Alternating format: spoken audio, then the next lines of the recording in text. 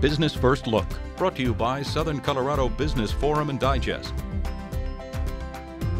Thank you for watching. If you are a business owner, this is for you, but this is really a conversation that pretty much anyone can learn something from. Today's Business First Look, we have Kerry Siggins here. Kerry is a CEO, an author, a podcast host, also speaks at a lot of different events. So, Kerry, I know you are a busy lady, so thank you so much for being here. First, we want to talk about your book ownership mindset. Tell us what that's about.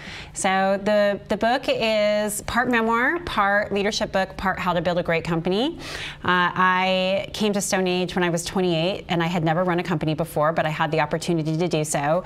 And over the last 18 years, we have built this incredibly high performing, unique culture based on ownership thinking and being an employee owned company. And so I wanted to share what we uh, what we have done to build this great company to inspire other business owners, business leaders to do and the same. This is something you speak a lot about, especially at different events, helping leaders try and build their companies and creating kind of a certain culture in their workplace. Exactly. So I get asked all the time, how do we build a culture like you have? Right. People who really enjoy their work, they're so engaged and they think like owners. And so I get that question asked so often, I decided that I would speak about it and try to help companies be able to do the same. And so you were only 30 years old when you became the CEO of Stone Age, which is an industrial cleaning company, but talk about what you did with it and kind of what that workplace is like right now. Sure. So um, we've scaled the company dramatically, and I took over for the two founders. Uh, we make industrial cleaning equipment, high-tech squirt guns on steroids, uh, and and we've done a couple of really interesting things. We've disrupted our industry multiple times uh, through business model transformation, through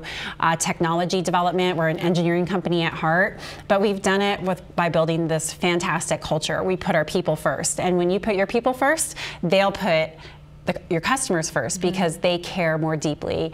And so, yeah, so we've we've grown. We've we have offices all over the world. We're based in Durango, yeah. uh, so which is an interesting place to have a headquarters, and it's just been so much fun scaling the company. And I think that's a goal a lot of business owners probably strive to have a workplace like that. So, what different yes. tips would you give to some business owners who are watching? Sure. So, a lot of people ask me, how do we how do we inspire ownership thinking, if, yeah. even if we're not an employee-owned company? And I always say ownership is a mindset. Yeah. We own things that we don't care about, and we also care deeply about things that we don't own. Think about our communities, and so you don't have to have tangible ownership to create mm-hmm. that. So the foundation is built on trust. How do you build trust with your employees? If you want them to go the extra mile, they have to trust. They have to trust what you say. You have to be transparent. You have to invest in their development, and when they know that you care, they'll care.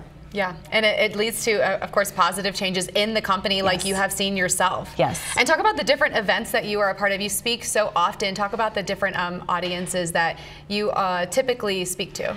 So I speak at conferences and corporations yeah. mostly. Um, I love speaking in companies. That's my favorite thing to do because people are they, they, they are so hungry yeah. for this type of culture and this type of engagement. So I really enjoy speaking uh, speaking to companies. But conferences are great great too. It's you know anywhere where where people are looking to make an impact within their organization, then I'm happy to come and talk. And I also want to know about your podcast because this is something that anyone can listen to. Yes, I have a podcast called Reflect Forward Conversations on Leadership.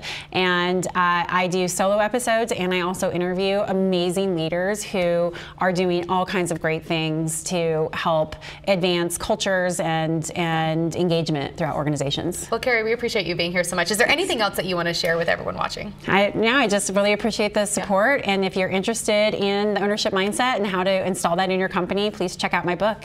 All right, Kerry. Well, thank you so thank much. You. We appreciate you watching yeah. Business First Look.